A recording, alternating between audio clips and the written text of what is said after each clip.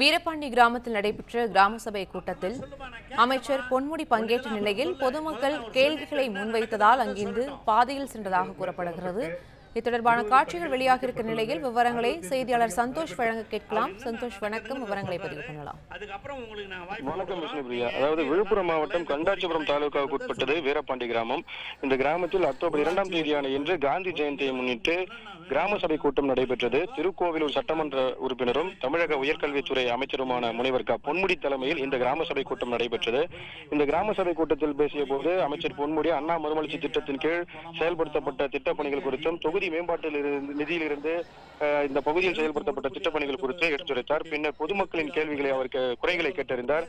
அப்போது ஒரு சில பகுதிகளில் குடிநீர் பிரச்சனை இருப்பதாகவும் அதே போல பள்ளியில் ஆசிரியர் பற்றாக்குறை இருப்பதாகவும் பொதுமக்கள் ச- கேள்விகளை கோரிக்கைகளை கேள்விகளை எழுப்பினர்.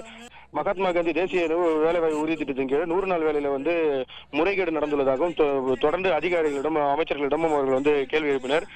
இந்த நிலையில வந்து அந்த பகுதியை சேர்ந்த ஒன்றிய கவுன்சிலர் அதிமுகவை சேர்ந்த ரேவதி பெருமாள் என்பவர் ஊராட்சி நிர்வாகம் தன்னிடம் எந்த ஒரு அஹ், இதுவே வந்து எந்த ஒரு திட்டப்பணிகள் குறித்தும் ஆய்வு மேற்கொள்ள மாட்டாங்க. என்னிடம் வந்து சொல்ல மாட்டாங்க. என்ன என்னை வந்து எதுலையுமே சேர்த்துக்க மாட்டேன் போன்ற பல்வேறு கேள்விகளை வந்து அமைச்சரிடம் வைத்தார் அமைச்சரத்திற்கு ஏற்கனவே தமிழக முதலமைச்சர் கிராம சபை கூட்டம் என்பது பொதுமக்களின் குறைகளை கேட்டறிந்து அதனை நிவர்த்தி செய்வதற்காக மட்டுமே தவிர அரசியல் செய்வதற்காக அல்ல இந்த அரசியல் கேள்விகளை எதையும் வந்து கிராம சபை கூட்டத்தில் முன்வைக்க கூடாது என எழுப்பினார். தொடர்ந்து அந்த பகுதியில் வந்து சலசலப்பு நிலவியது.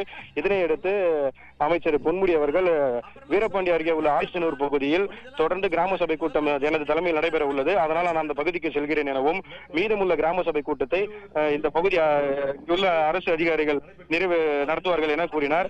தொடர்ந்து அங்கிருந்த பொதுமக்கள் அரசு அதிகாரிகளிடம் இதே குற்றச்சாட்டை முன்வைத்ததால் அந்த பகுதியில் வந்து பரபரப்பு நிலவியது.